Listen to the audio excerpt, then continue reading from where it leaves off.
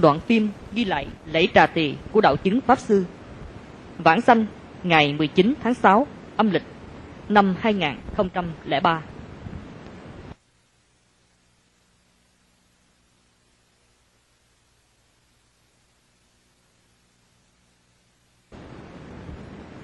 Học y và học Phật Pháp Sư có đầy đủ thiện căn. Trong lúc học y, đã phát tâm học Phật, tham gia y vương học xã. Năm 1982, tốt nghiệp và thi lấy bằng hành nghề Đông Tây Y. Năm 1983, đến làm việc ở Bệnh viện Nguyên Tông Hợp ở Cao Hùng. Năm 1984, đi hành hương Ấn Độ, rồi viết sách kể lại chuyến hành hương này. Có thể nói, đây là lịch trình nội tâm của người tu hành trải qua trên con đường hướng về Bồ Đề. Đến năm 1985, từ chức và đến bệnh viện Thuận Thiên ở Đại Trung để đảm nhiệm bác sĩ khoa ung thư. Pháp sư lúc bấy giờ là bác sĩ Quách Huệ Trân, dùng thuốc men để chữa trị sự đau khổ của bệnh nhân. Có lúc lại dùng Phật Pháp để giải trừ sự lo buồn, ưu tư của người bệnh. Có khi lại bài câu chuyện ngắn liên âm cũng như nước cam lộ tươi mát ngọt liệm rót đầy vào tâm linh của người sắp lâm chung dẫn dắt họ quy y tam bảo. Cầu sanh tây phương, thường được mời đi đến các phật học xã đoàn để diễn thuyết phật pháp, như các bài diễn giảng với tựa đề học y và học phật. Lắng nghe tiếng hát sông hằng đã làm cảm động nhiều người. Trong mấy năm trời hành nghề bác sĩ, pháp sư tận tụy từ bi giúp đỡ không biết bao nhiêu bệnh nhân ung thư. Từ chỗ tuyệt vọng bên bờ sanh tử dẫn dắt họ đến biển đại nguyện của di đà từ bi. Pháp sư không nỡ để chúng sanh đau khổ đem nước cam lộ phật pháp làm tươi mát tâm khảm của người bệnh đến lúc cuối cùng lại mang bệnh nan y này. Sự cảm chiêu của lão hòa thượng. Sau khi tốt nghiệp bác sĩ Pháp Sư có bái kiến Lão Hòa Thượng Quảng Khâm ở chùa Thừa Thiên. Lúc vừa gặp mặt, Lão Hòa Thượng liền kêu Pháp Sư buông bỏ tất cả xuất gia tu hành. Tuy vậy, lúc đó nhân duyên chưa đủ, đã mất đi cơ hội quý báu không thể xuất gia dưới trướng của Lão Hòa Thượng. Sau đó, sau đó được tin Pháp Sư bị bệnh nặng. Hai vị đệ tử của Lão Hòa Thượng, Pháp Sư truyền duyên và truyền tịnh đến thăm Pháp Sư. Pháp Sư lúc đó chưa xuất gia.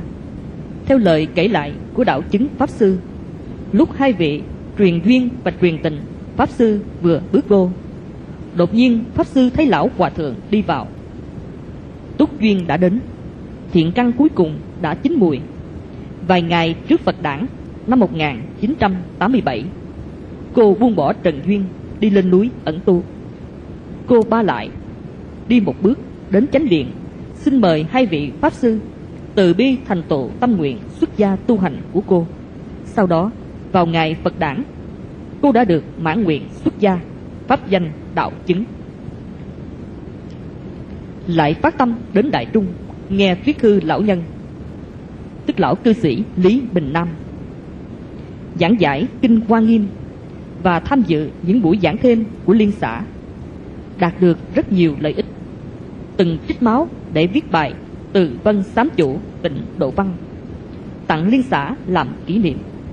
Mấy tháng trước khi vãng sanh, có đến gia nghĩa, trợ niệm, gặp các liên hữu và tỏ lòng cảm ơn liên xã đã giúp pháp sư xây dựng lòng tin kiên cố đối với pháp môn tịnh độ.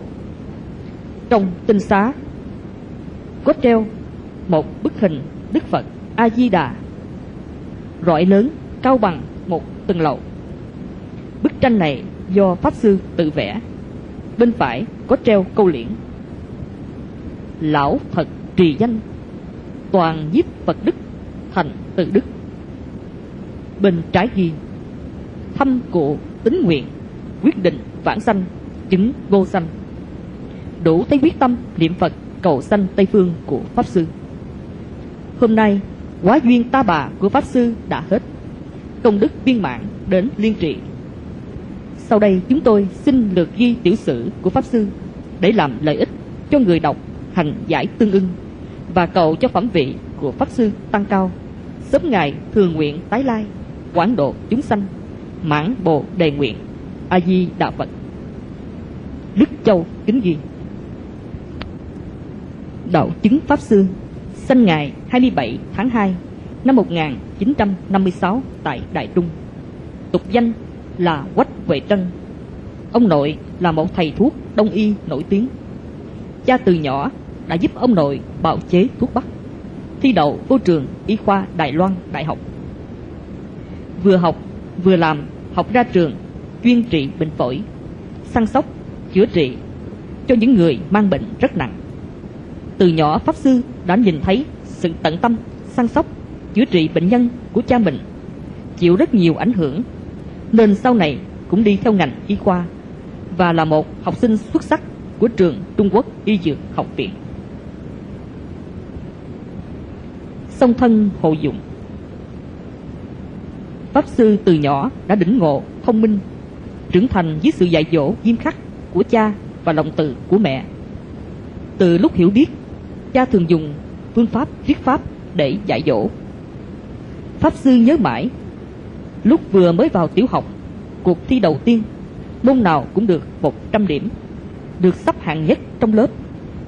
Cha Pháp Sư lại nói, con đừng tưởng thi đậu hạng nhất là hay lắm rồi, không có gì hay ho đâu. Cha chỉ xem là không điểm. Đến lúc thi đậu vô trường y khoa, cho Pháp Sư dùng kính hiển vi, cổ nhất. Thậm chí, có lúc không gửi tiền trợ cấp, nên Pháp Sư phải nỗ lực chỉ nhờ vào tiền học bổng. Đi dạy kèm, giữ trẻ để tiếp tục đi học. Làm cho Pháp Sư lại cắt cốt ghi tâm, thể hội được một cách sâu sắc mùi vị của sự nghèo khổ. Tuy là gia đình dư giả, mỗi khi đến lúc Pháp Sư gần bị đánh bại, thì má Pháp Sư đều dùng nhiếp pháp để an ủi nỗi niềm, không hiểu rủ lòng thương của cha lúc bấy giờ của Pháp Sư. Trong hai phương pháp dạy dỗ này, Pháp Sư đều được thọ dụng. Pháp Sư nuôi nấng được tấm lòng từ bi, tính kiên nghị, không lùi bước. Bẩm tánh của Pháp Sư, thuần hiếu, tuy chịu ảnh hưởng của phụ thân, nhưng cũng chịu tánh của mẹ. Lúc thi đậu trường y khoa, Pháp Sư nói với má, chỉ vì muốn làm má vui lòng nên con mới làm bác sĩ.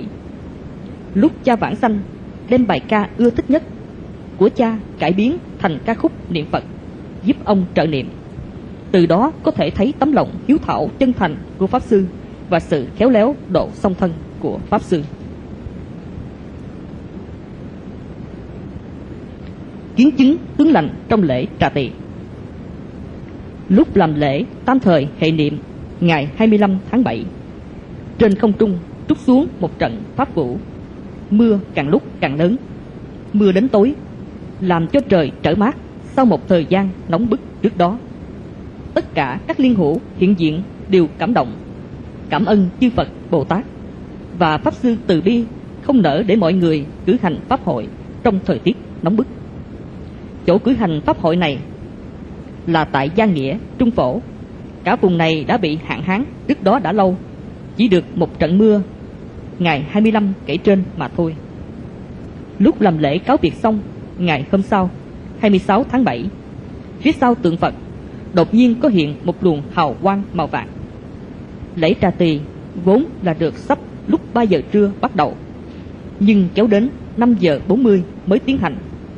Lúc đầu chúng tôi còn không hiểu nguyên do cho đến việc xảy ra sau đó mới hiểu rõ. Khoảng 7 giờ tối, tôi có việc phải ra bãi đậu xe, kế bên lò thiêu để kiếm người bạn. Lúc đó, trời đã sụp tối. Đột nhiên, trên trời sáng rực lên, có thể nhìn thấy hai ngọn núi phía bên trái rõ ràng. Lúc đó, tôi còn nói với vị người bạn đi chung rằng, tại sao khi không trên trời sáng trưng như ban ngày? Sau đó, ba người chúng tôi mãi bàn đến việc này Tuy cảm thấy kỳ lạ Nhưng không để ý đến nữa Lúc đó tôi nghĩ Chắc tại sấm chớp Sau đó lại mưa thêm một trận Cam lộ pháp vũ nữa Mưa này rất kỳ lạ Giọt mưa thật lớn Tiếng mưa cũng rất lớn nhìn thấy mưa, nghe thấy, nhưng lại mưa không rớt đúng thân mình. Thế nên tôi mới chạy tới, chạy lui, xem thử nước mưa có rớt đúng mình không. Chạy tới, lui hết mấy phút. Trong lòng tôi nghĩ không biết đây có phải là pháp vũ cam lộ của chư Phật Bồ Tát hay không. Ngay lúc nghĩ đến đây, đột nhiên có một hạt mưa thật lớn rơi ngay trúng đỉnh đầu tôi. Nhưng chỉ có một hạt mà thôi. Lúc ngồi xe về Đài Bắc, các liên hữu kể lại những tướng lành mà họ trông thấy. Có một người nói chỉ biết là mưa xuống, vốn là chuẩn bị chạy đi đục mưa.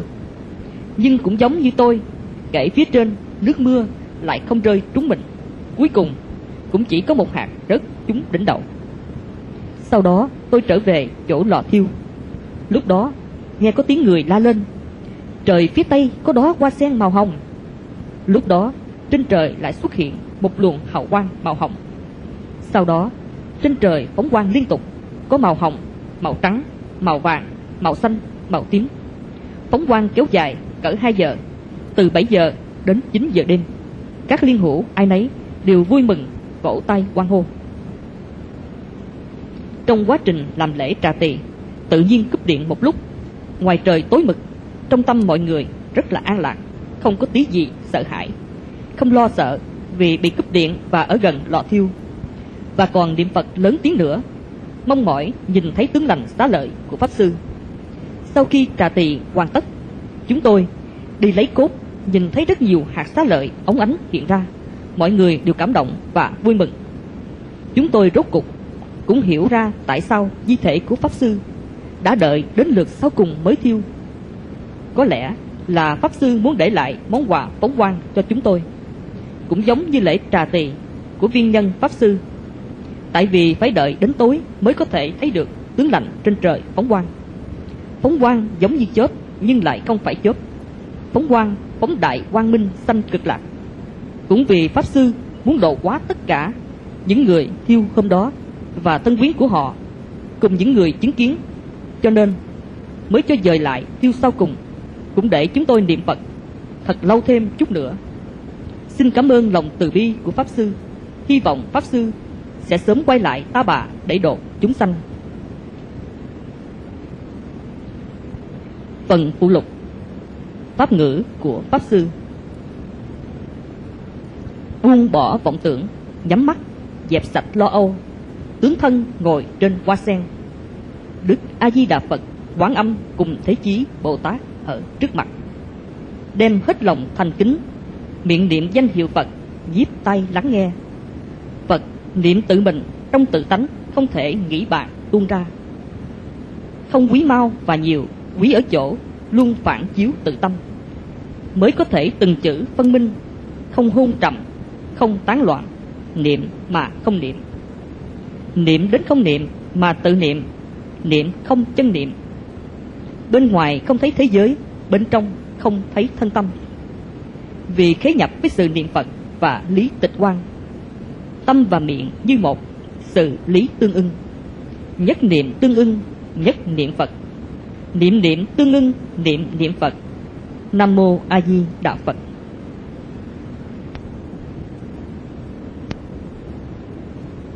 Lời thêm của Tư Nguyên Tử Lão Sư đạo chứng Pháp Sư đã giữ chi thời chí, tức là biết trước ngày giờ, chánh niệm phân minh, viết tường niệm Phật vãng sanh Tây Phương vào ngày 19 tháng 6 âm lịch năm 2003 nhằm ngày Quán Thế Âm Bồ Tát thành đạo.